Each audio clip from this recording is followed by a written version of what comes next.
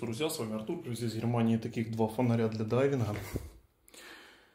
А, он сейчас открыт, здесь видите двойная резинка, которая очень препятствует попаданию воды вовнутрь, причем она так очень-очень добротно смазана смазкой. А, аккумулятор в комплект не входит, я взял свой для снятия видео. В комплект идет а, два адаптера, ну и соответственно это у нас крышка. Есть адаптер под три мизинчиковые батарейки адаптер под аккумулятор 18650 и без него, я так понимаю, либо 20650, либо 24650 сюда входит. То есть толстый. Давайте штангелем замерим. Одну секунду, у меня, друзья, таких аккумуляторов толстых нету. 21,4, 22, значит, ну вот как-то так в диаметре. И по длине как 18650 сюда заходит. Давайте внутреннюю померяем. 23 где-то максимум. А, в общем, проверяем. Здесь указан, видите, минус-плюс. Ставим минусом туда, закручиваем. Надо плотно прижимать, качественная пружина. И здесь, друзья, пока он я до конца не докрутил, он сейчас светить еще не будет. Нестандартный способ включения. Вот смещением вот этой вот, видите, такой рычажок. Раз, 2, 3. Здесь три режима, как в обычных фонарях. То есть максимальная яркость. Очень мощный. Половина яркость. И стробоскоп. А, передняя часть здесь, где установлен сам кристалл, кристалл выполнен с алюминия. То есть, соответственно, он выполняет функцию радиатора. Охлаждает кристалл. Качественное, я так понимаю, стекло, наверное, использовано, потому что на многих фонарях используют пластик спереди, и на нем прям на новых фонарях имеются уже какие-то следы царапин. Здесь идеально гладкое, наверное, используют стекло. И там у нас установлен кристалл.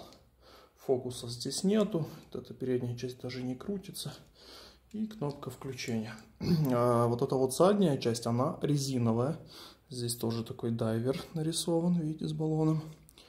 А, она резиновая, не такая, как на обычных фонарях тряпочная. И очень мощно фонарь держится на голове за счет резинки, да, она такая упругая.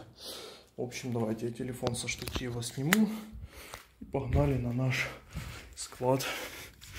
Здесь у нас днем полнейшая темнота. Будем проверять. Но фонарик, на удивление, светит очень мощно. И у него очень классный фокус. Давайте я его включу. Смотрите, какая у него точка.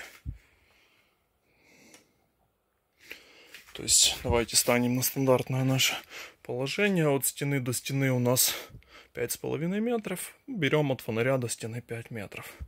Вот такая вот у нас точка. Очень мощный световой поток это у нас максимальная яркость. Но кто хоть раз нырял на глубину хотя бы там от 10 метров и ниже, даже днем, когда солнце хорошо светит, чем ниже вы погружаетесь, тем темнее. Плюс можно в какие-то пещеры заплывать. Далее у нас половина яркости и стробоскоп. Не знаю, кто им пользуется. Напишите в комментариях, хоть раз в жизни стробоскопом пользовались по назначению. Или этот режим сугубо для того, чтобы переключать всех. Да? Ну, реально, фонарь я не знаю, как передаст это на видео, но очень-очень мощно светит. Для таких размеров фонаря у него очень классный фокус. То есть сам вот этот отражатель очень правильно фокусирует. У него идеально четкий круг, видите? В общем, реально фонари для дайна. Они не из дешевых. Порядка 20 евро в Германии. Если без акций Бывают они еще в комплекте с одним аккумулятором. Может доходить и до 50 евро, в зависимости от комплектации.